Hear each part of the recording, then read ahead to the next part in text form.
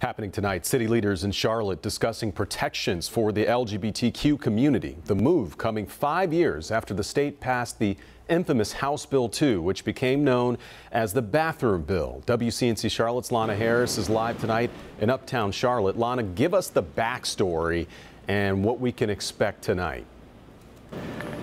Yes, we are going to be giving you that backstory in the story here, but this ordinance would basically ensure that people are not discriminated against for things like their sexual orientation or their gender or their natural hair.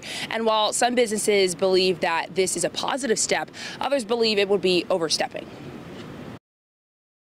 On Monday, the city of Charlotte is taking another crack at enacting a non discrimination ordinance. Charlotte would be among other cities across North Carolina that says that we value diversity and inclusion. Previous ordinance attempt in 2016 was voided when the state passed House Bill 2, otherwise known as the bathroom bill. The state law was seen as anti-LGBTQ because it required transgender people to use the public restroom based on the gender on their birth certificate and prevented North Carolina cities from passing their own non-discrimination ordinances. It was basically a, a giant step backwards. House Bill 2 was repealed after major backlash, and Charlotte City Councilman Malcolm Graham believes the city's new proposed ordinance on the table sends the right message. It provides um, for uh, individuals to be included for diversity and inclusion.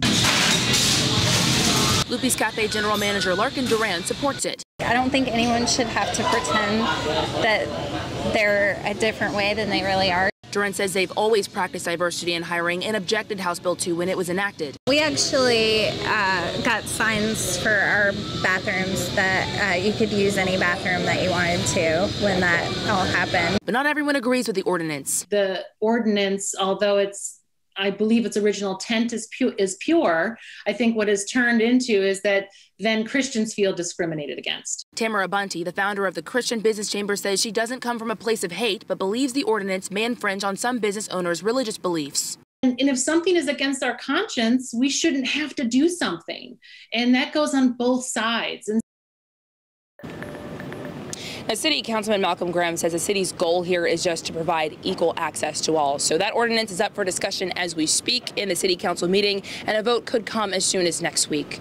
Lana Harris, WCNC Charlotte. All right, Lana, thank you.